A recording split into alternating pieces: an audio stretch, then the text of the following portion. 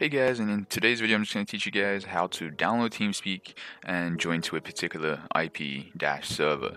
So what you guys are going to do, you're going to go in Google and just type in TS3 and it's going to come up with TeamSpeak 3 and this is the one that we want.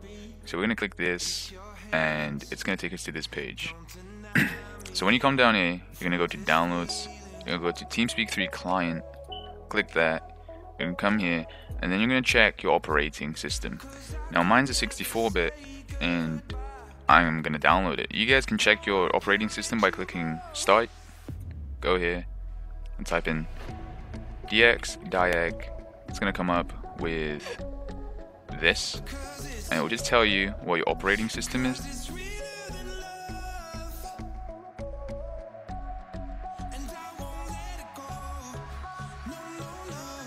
Going to come up with something like this when you first ever start the TeamSpeak client. And uh, what you're going to do is we're going to go to bookmarks, manage bookmarks, and then I have all these um, IPs and stuff that you know I the servers I connect to. And what you're going to do is just enter your preferred, uh, you know. So for an example, if you want to join ET clan, which I already have, go ET clan, and then want to do .ip, which is et-clan.tk. I'm going to apply it, and then you're going to click it, press OK, connected, and you're in. And that's how that's how you guys join a TeamSpeak server and download TeamSpeak. It's pretty simple. You just you guys just have to get used to it, uh, used to the whole system, and just understand how things work. Like there are many more functions to TeamSpeak.